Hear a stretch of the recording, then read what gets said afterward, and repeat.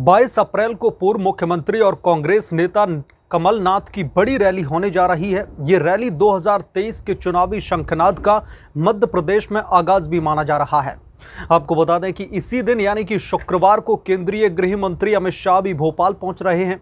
ऐसे में इसी दिन रैली करने को लेकर के भारतीय जनता पार्टी कांग्रेस पर तंज कसती हुई दिखाई दे रही है। दरअसल, जन आक्रोश रैली में कांग्रेस ने चालीस हज़ार की संख्या में भीड़ जुटाने का दावा किया है। तो इसे भाजपा ने हास्यास्पद बता दिया। बीजेपी ने कहा कि कांग्रेस का सभा पंडाल ही दस हज़ार की क्षमता का है। ऐसे में कमलनाथ के आने की खबर मिलते ही कांग्रेस में इस्तीफे का दौर भी शुरू हो चुका है। 22 अप्रैल को कमलनाथ की बीजेपी के खिलाफ रैली है। महँगाई हटाओ के नारे के साथ में प्रदेश में होने जा रही जन आक्रोश रैली के रतलाम से शुरुआत करना भी हर किसी के लिए जो है सोच से परे है। सवाल उठ रहे हैं कि आखिर प्रदेश में कमलनाथ ने भारतीय जनता पार्टी के खिलाफ जन आक्रोश रैली की शुरुआत के लिए रतलाम को ही क्यों चुना? उधर कांग्रेस इन सवालों को दरकिनार करने में जो है लगी हुई है, इस रैली को लेकर के शहर के अंबेडकर मैदान में तैयारियाँ जारी हैं।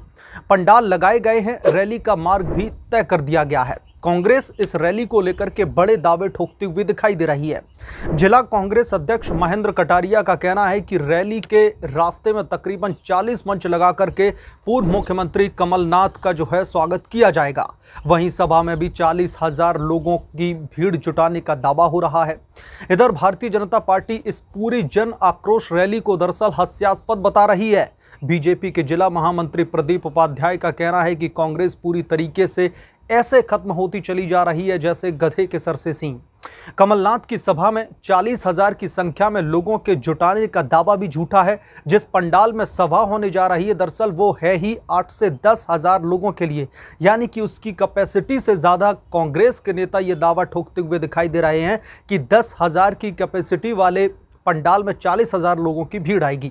भाजपा के खिलाफ जन आक्रोश की तैयारी करने से पहले कमलनाथ अपने घर को संभालें। उनके आने की खबर मिलते ही पार्टी में इस्तीफों का दौर शुरू हो चुका है। एक कद्दावर महिला नेता जिन्हें कांग्रेस ने विधानसभा में उम्मीदवार भी नहीं चुना था उन्होंने सबसे पहले सभा से इस्तीफा दे दिया। वहीं रतलाम से जन आक्रोश की शुरुआत को लेकर भाजपा का कहना है कि प्रदेश में इन्हें कहीं जगह नहीं मिल रही है इसलिए रतलाम से शुरुआत कर रहे हैं। बीजेपी का दावा है कि जन आक्रोश रैली का जवाब देने के लिए भाजपा का कार्यकर्ता बूथ स्तर तक तैयार खड़ा है।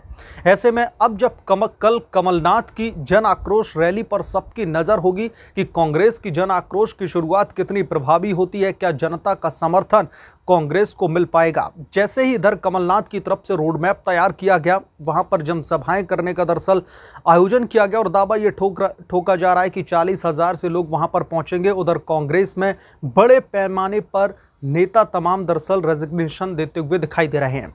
बहरहाल, जो मध्य प्रदेश को चुनावी शंखनाद के नज़रिए से दरअसल कांग्रेस पार्टी देख रही है और उन्हें लगता है कि इस बार वो भारतीय जनता पार्टी के खिलाफ में एक दरअसल जो लहर लगातार चल रही थी, उसको एक बार फिर से वहाँ पर चलाने में कायम हो जाएँगे और उधर भारतीय जनता पार्टी सीधे तौर पर कह रही है कि कांग्रेस का एक बार फिर से सफाया तय है।